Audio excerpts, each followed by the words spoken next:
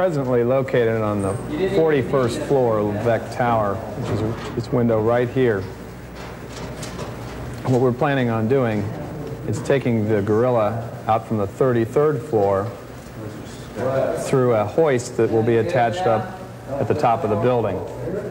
At this time, the inflatable is, is tied in a sausage. It- in other words, he's long and thin. We'll take him out here, hoist him up to the area on this platform, which is just below us on the 40th floor, and lay him out. At which time we'll make some adjustments with, with our winch assembly up from up top and start to unroll the inflatable. And uh, that's, that's the program. Okay, right now we're just sitting here trying to figure out which end is his hands and which end is his feet. And we voted on and decided that we got his hands here and that the big part here, which is always how we have trouble fitting anywhere, that's his head, his shoulders, and his upper arms stuck together. And then as we as we go along, this is his uh, middle torso, all the way down through this area, which is probably another 40 feet.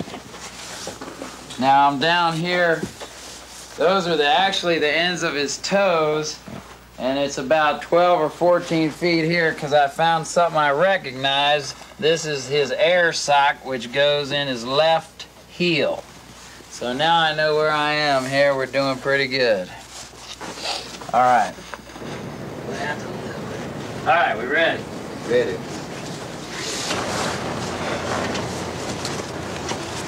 Give us. Give us another one. Uh, I'd say I work about 18 hours a day with this guy and uh, uh, enjoy it most of the time. We gotta, you know, there's a lot to do keeping an eye on him when he's windy and planning to get him back down even after he's up. And you can see there's a lot of work to do putting him up, arranging transportation for him, all, all these different aspects. So it's kind of like babysitting a, a great big gorilla, kind of.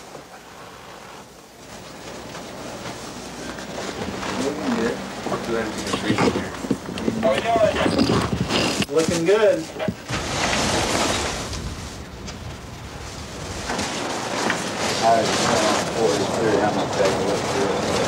Okay. Go let this rope hang like that or? Yeah, we're gonna have to toss it out. Can't see.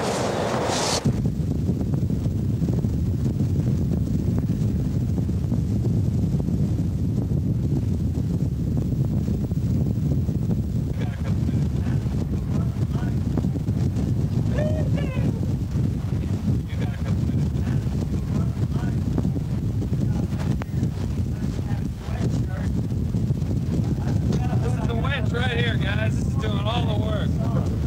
Okay, well, seriously. We love being out here in 25 mile an hour winds at 2 o'clock in the morning, putting a 70 foot tape. Thomas out there. Ready to go? Uh, you guys all right? Yeah, We'll be letting it down after this, right? Bring him down. Uh, how much you want at a time? Five feet. All right, drop it five feet at a time.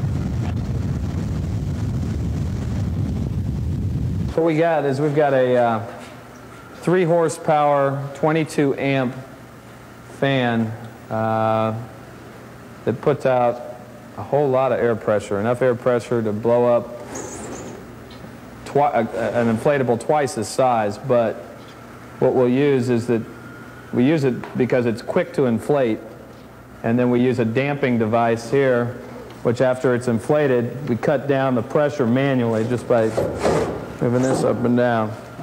What we have here, folks, is um, this is what we affectionately call the sock, and this is the um, is a material which is attached to the fan on one side, and then uh, is attached to Kong itself on the other side. For, for situations like what we have in Columbus, where we have a fan on one level and uh, Kong's feet will be on an entirely separate level, we run this extension from the fan down to his left foot. This gives us extra length. So what's the deal? Well, we've got the monkey where we want him now, and we're gonna unwrap him and send him up when the weather's right and the daylight.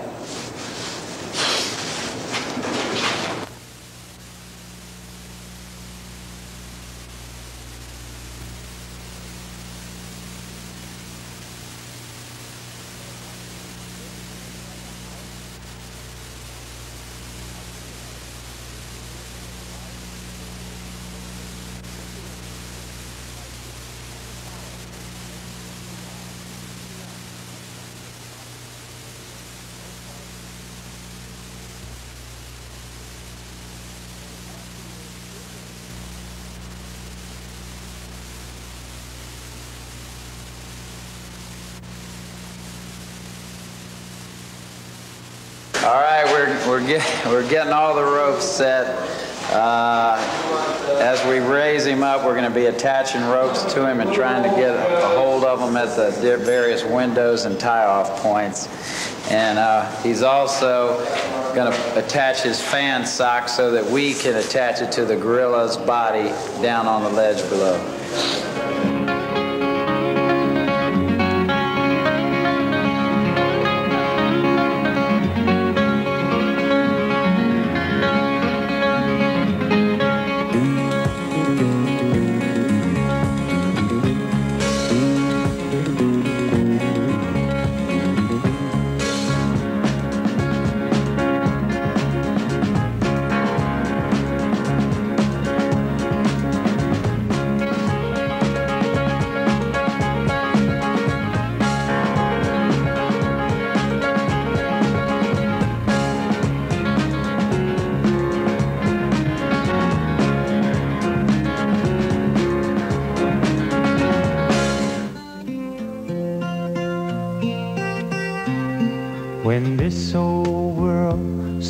Starts a getting me down, and people are just too much for me to face.